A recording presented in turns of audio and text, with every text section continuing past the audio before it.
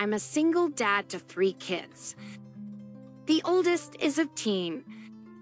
She and I usually get along for a dad and a teen. I think it could be a lot worse. The story started when our Apple iCloud got screwed up for the umpteenth time. Apple support hasn't helped me with the issue, or they haven't given me a working solution. I'm not a tech guy, but sometimes our texts would show up in each other's inboxes, but not on all devices. I've had my younger son's text show up on my laptop, my texts show up on my daughter's phone, etc. Now, I'm usually a trusting dad, and I delete these threads without reading them as soon as I notice they're there. But this time was different. This may give away our relative location, but whatever. My daughter plans to attend a particular music fest this weekend with some friends. She has a job and bought her ticket on her own. I originally had no issue. She's usually responsible. Well, I saw an interesting message in a thread with her friend that showed up on my phone. At the message read, We should be able to sneak it in if we hide it well. So I snooped. I opened the thread and read it. I was shocked at what I saw. She and her friends are planning on sneaking in drinks, smoke, and something I've personally never heard of. I legitimately don't know what this is, so you can assume I'm freaking out by this point. I scroll up to find the outfits my daughter plans on wearing as well. Now, when I say outfits, that's me being very generous because it looks just like underwear, not an outfit. I decided that I wouldn't allow her to go to the festival. I thought about letting her go, but making sure she's actually wearing clothes and checking her bag before. But even if her bag is clean when she leaves the house, I know she'll find a way to get the stuff. I told her, no, it's not happening, and I would have never okayed it in the first place if I had known her plans. She and I haven't been speaking. She thinks I'm wrong to take away something she spent her own money on. I told her it's not the concert. It's what she's planning on doing there, I can't possibly give my approval knowing about that in advance. She's asking me if I'll reimburse her ticket if I don't allow her to go.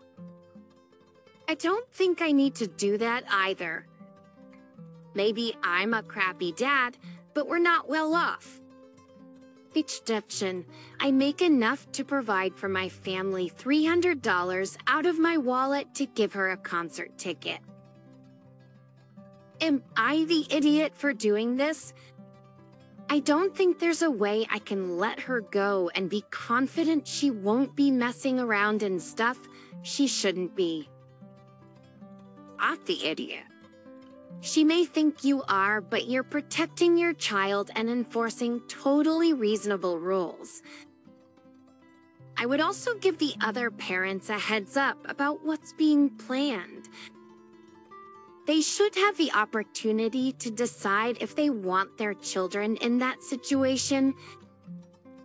Unfortunate for her party plans that you saw her post, but it's best for her safety and health.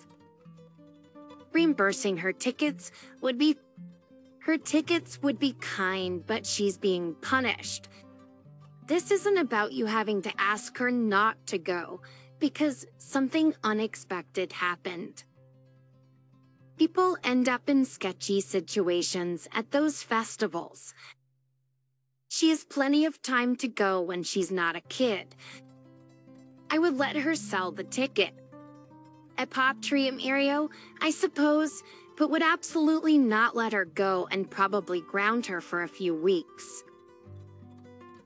That would be bad parenting if Oak didn't create consequences for this She will be mad, but mad is better than being in the hospital or dead. I might be dramatic. I honestly think you made the right cut and made your daughter dodge a huge bullet. Maybe I'm overstepping here, but I don't think teens in general should be allowed in Big Fest until they're at least 18. Up, you may have stopped her now, but I guarantee she'll get more sneaky and secretive if you don't have a serious discussion with her. I was a teen girl once. We have our ways. Update. Thanks for all the help. I reached out to two of the girls' parents I know. I calmly explained what happened and that I wouldn't be letting my daughter go. I did not suggest what they should do with their girls. One took it better than the other. I met my sister-in-law, fiance's sister, six years ago when I first got with my fiance. When I met her, she was planning her wedding but to my surprise, the wedding venue she picked is a venue an uncle of mine partly owns and is also a Shifat. This was a coincidence, and when I saw the venue she picked, I told her it was just a funny coincidence we talked about. Since high school, my uncle has told my siblings and me that he'll give us a discount if we want to find a venue for our future weddings. My sister got married at a destination wedding and didn't book my uncle's venue. My brother didn't have a reception for his wedding, only a ceremony. So now that it's my turn to get married, I've decided to talk to my uncle about the venue and the discounts. He gave us excellent deals on the food, the decoration, and overall the services. It's a better deal than any other we've heard. So of course we booked the venue. My sister-in-law found out and said that she considers it disrespectful that we booked the same venue as her. She claims that we're not being original and only booked that venue to mimic her own wedding. I explained to her that I booked that venue because my uncle is part owner and a chef and how he gave us good deals. Plus how I've always had that venue in mind, even before I met my fiance and way before sister-in-law's wedding. Sister-in-law said it doesn't matter anymore, and since she booked it first for her wedding, we should go with another venue and be more original because she's scared people will compare our weddings. My fiance told her she was ridiculous, but since then, many people have been hostile towards my fiance and me and accused us of being jealous of sister-in-law, which is why we which is why we tried to book that venue. So I'm wondering if we are the idiots, and we should book another venue. Well, not the idiot Hun. Is your sister-in-law aware that she's not the only person in history to get married, and that having a wedding is not in any way original? Has it perhaps occurred to her that other people she doesn't even know four might have had their wedding at this exact same venue. And maybe the bride's even more white. They stole her idea. How will she cope? She's insane. Or have your lovely wedding with your lovely discount and ignore her bees. Her argument is no one in our family's ever allowed to use that venue for a wedding because I did it six years ago. Did she lick the walls to mark it like kids do to stop others from eating their stuff? Oh, Elau. Stay strong.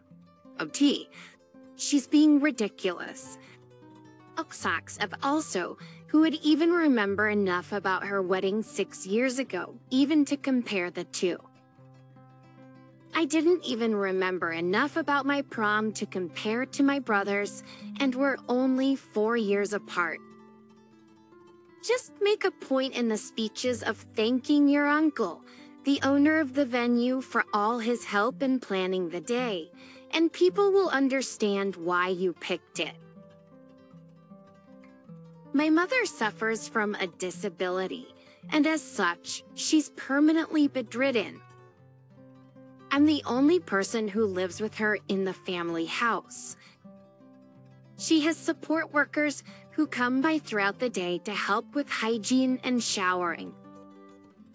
However, I help with absolutely everything else cooking, paying bills, errands, organizing home maintenance, checking emails, making her comfortable in bed, and shopping, managing investments, etc.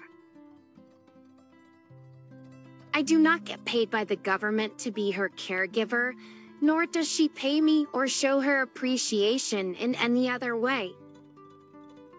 She feels entitled to my help, and it's a thankless job.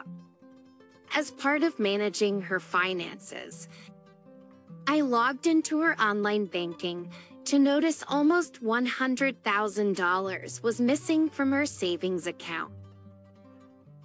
And further inspection, I saw the money was sent to my sister 21. She's in college in another city. So I asked my sister about it, and she told me that our mother gifted it to her to buy a highly specced Tesla. I was livid by this. Mothers always treated my sister as the favorite. Apart from the gift, she's probably given her over 100k in other things over the past few years, which I never got. For example, I had to pay for my first car, which I never got. I had to pay for my first car, but she got a brand new one. When I moved to college, Harry, I had to pay for it myself, whereas my wealthy mother paid for her to have a premium unit. I burst into my mother's room, saying I'm sick of the favoritism and how unfair it is because children should be treated equally. She had never known appreciation for my sacrifices to be her de facto caregiver. I can't leave the house overnight, which rules out all holidays. It's been like this for five years since my father died. Initially, I asked if she had any intention of giving me 100k to make up for it, and she said no. During our 30-minute argument, she never directly answered how it was fair, asking questions like, do you feel like you've missed out? Among other questions. Finally, it reached a boiling point, and she ultimately said, It's my money and I'll spend it on whatever I want. I said, Fine. I won't be helping you at all anymore. I've now ignored all of my mother's texts for help over the past two weeks, I've heard from my sister that she's now looking at full-time residential care due to my lack of assistance, which people in my country do as a last resort as the residents are neglected and fed poorly, and there's no sense of it being your home. Am I the idiot? But the idiot? Yeah, this is just plain favoritism as you said. She may be bedridden, but you were kind enough to help her with 90 of the household chores and got nothing back for it. She sounds vile and expects you to do everything for her, while your sister gets a Tesla Model SA Plaid paid for by her. This is astounding. You made the right call. X, now go and live your life. Then your sister can race over in her Tesla and help. Absolutely bonkers, quite frankly. The 21-year-old in college needs that car. Do not be tricked into going back to take care of her. She and they will use you for years and leave everything to your sister in her will. Yes. I think Oak needs to do some personal introspection and ask herself why she needed to dedicate so much effort to someone who showed so little care. Was there no clear agreement on the arrangement, or was it just expected on everyone's part? Demanding tit for tat on finances was not the best response, but there does need to be some appreciation and understanding. So really a pretty simple situation I found myself in. I, 26 male, have been dating my girlfriend, the Allison, 25 female, for three years, living together for the past 16 months. She has a sister named Jane, 30, who is married to her husband, Cody. So obviously, over the last couple of years, we've gotten to know them really well. They seem to have a good relationship for the most part. Allison and I allow Jane to come over often, and recently, she's been venting to us both about her relationship. They were starting to have issues, and she was talking to us about how to fix them. I suggested the obvious ones couples counseling, more quality time, etc. Jane came over a week later and said Cody and her weren't trying couples counseling because she didn't want to and thought it wouldn't work. What was her bright idea? Was to withhold intimacy from Cody till he changed some of his behavior. I told her straight up that this was a horrible idea. She told me I didn't know Cody as she did and that this would shape him up. Ups forward to last night. Guess who comes over? Bawling her eyes out. Jane said that Cody didn't come home. He was at a hotel when she searched his location on Snapchat. She then went and looked on his iPad and found out that he had downloaded Tinder and was getting notifications on it. Finally, when he showed up at home, she asked where he was and he told her he had met a friend for drinks. Obviously, he was lying. And then she ran over here. I was in the middle of trying to build a desk in the living room, and I was watching my favorite baseball team, so I didn't want some crying woman in my earshot. I asked them to go outside if they wanted to talk. I was called heartless and an idiot for not caring. I said I didn't care because I told you so. I said, Jane, you played a stupid game and won a stupid prize. You should have just divorced if you couldn't get Cody to change, not manipulate him. She said she didn't manipulate him and that I was being an idiot. I said, Okay, then, please take it to another room. I'm trying to finish this up. My girlfriend thinks I'm being an idiot. I told her I was not her sister's relationship coach, and they had some actual things I needed to take care of, and her sister was dragging me into her dumb relationship issues. I offered some decent solutions at first, and did originally care, but her sister knew more than me apparently, and she found out. Am I the idiot? Yeah, okay, fine. Jane messed around and found out. But I didn't want some crying woman in my earshot. And I had some actual things I needed to take care of. Geez, you were building a desk, not negotiating a ceasefire. If you have no sympathy to offer, fine. If you just want to rub in what a stupid female Jane is for not taking your advice, which, by the way, she didn't ask you for. I don't think you're in as much of a position to be dishing out guidance to other people on that subject as you seem to believe. Everyone's the idiot here. Agree everyone's the idiot here. She is for trying a widely failed method. He is for obvious reasons. And you are because the biggest reason for your eye told you so was interrupted man time.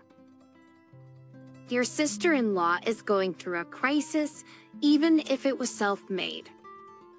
Do you know what you did here? You chose baseball over your girlfriend. I'm sure she's grateful for you, putting her between a rock and a hard place. Complause. Sorry.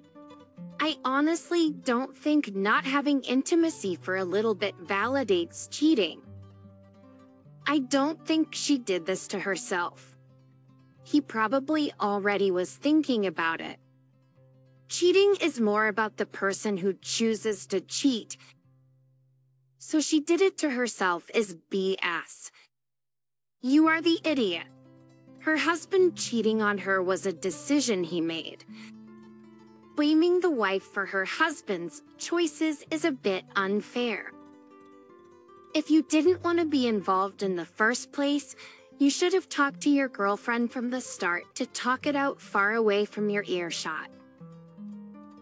Far away from your earshot, considering your attitude towards your girlfriend's sister.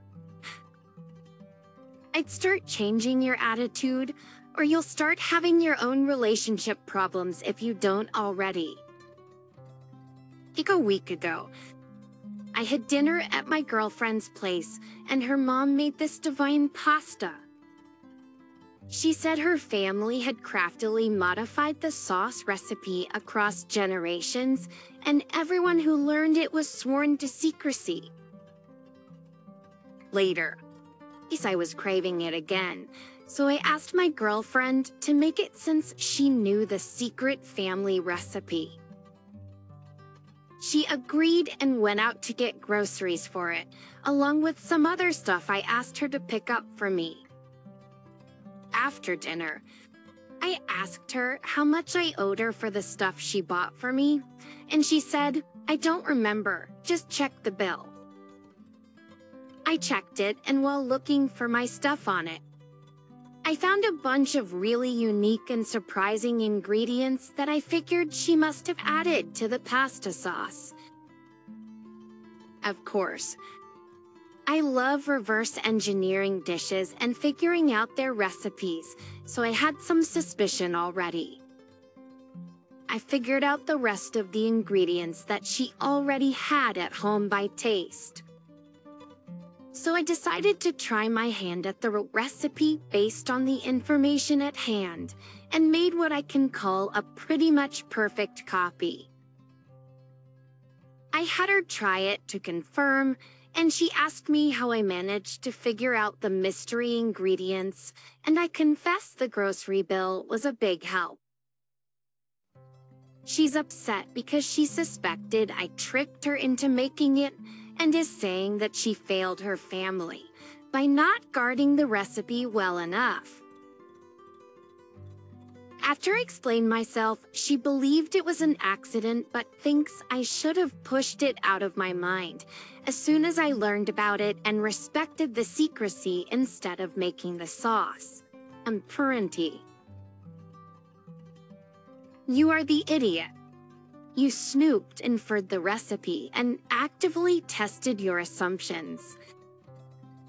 You knew it was important for her to have it be kept a secret, so you went out of your way to show her up. Couldn't you have just let her have this thing? This was something she shared with her family. You didn't need it. For if OB had to have it so bad, don't rub her nose in it or ask her to confirm the ingredients. I know people go back and forth about secret family recipes. I think if it means something to someone to keep it secret, then respect that. Fiddle with it on your own time if you ever break up and can't live without it. But don't go around like so. I cracked the code. You couldn't respect her wishes or the wishes of her family. It's a pasta sauce, not state secrets. Some of these comments are ridiculous. He just made himself some pasta. Regarding recipes has always been absurd to me. Like if I make something someone enjoys and they want to know the recipe, yeah, why gatekeep food? Big time seconding this. Food is probably the universal expression for every culture and brings people together. The idea of secret family recipes is so bizarre to me. People who get angry over secret recipes are the reason good recipes get lost to the world. These stories always crack me up. This recipe has gathered so many generations of my family together. There was never a wedding or a funeral without this dish. It's been our comfort since we came to this country. It's our ultimate familial expression of love. X, now buzz off and get the heck away. Who on earth do you think you are? You piece of crap. How dare you figure out the ingredients? Like, yeah, an awesome tradition you have there.